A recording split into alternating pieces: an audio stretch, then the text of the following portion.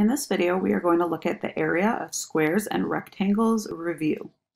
All right, so each side of a square piece of cardboard is four feet long. So what is the piece of cardboard's area?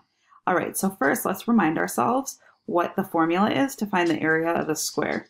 And the formula is the side length squared, or the side length times itself. So side times side. All right, so in this case, each side is four feet long. So that would be four squared, which equals four times four, which equals 16 square feet.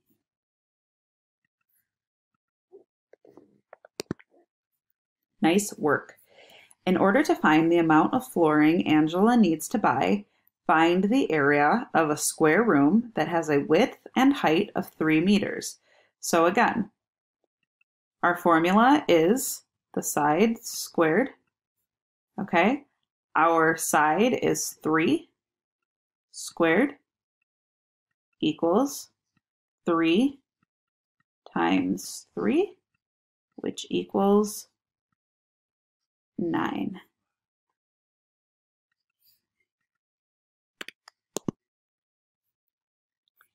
Alyssa lives on the International Space Station. Cool.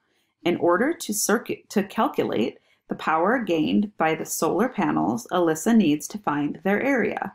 If a square panel is one foot long, then what is the area? So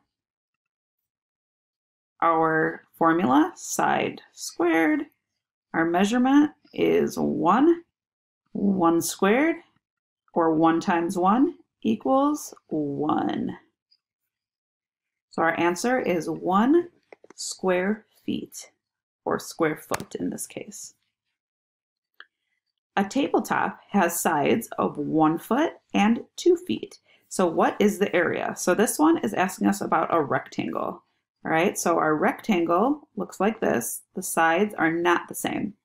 All right, so the way that we find the area, area of a rectangle is doing length times width, or base times height. So our length is 1, and our width is 2. So we do 1 times 2 equals 2. So our answer is 2 square feet.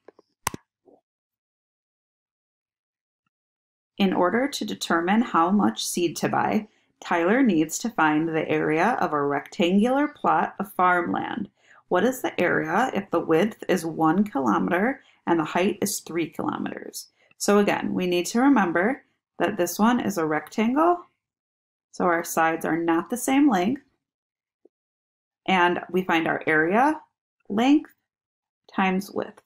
So our length here is 1 and our width is 3. So 1 times 3 equals 3 square kilometers.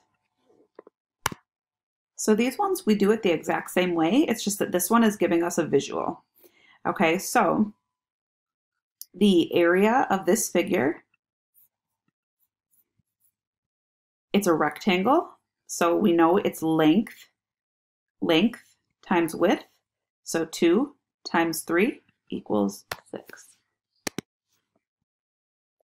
Okay, and this one, even though it's super big, it's not so big. So this one we have 1 times 5 equals 5. In order to find the amount of flooring Gabriel needs to buy, Find the area of a square room that has a width and height of 2 meters. So remember, our formula is side squared. Okay, so our width and height are 2. So 2 squared, or 2 times 2, equals 4 square meters. The surface of a piece of cardboard is 3 feet long and 8 feet wide. what is the piece of cardboard's area? All right, so we have ourselves a rectangle. And our length is 3. And our width is 8. So to find our area, we have to do length of 3 times width of 8. And that equals 24 square feet.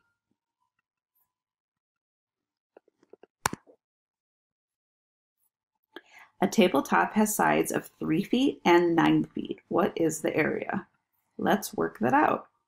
All right, so our length is 3 and our width is 9. So to find the answer, we need to do 3 times 9 equals 27 square feet.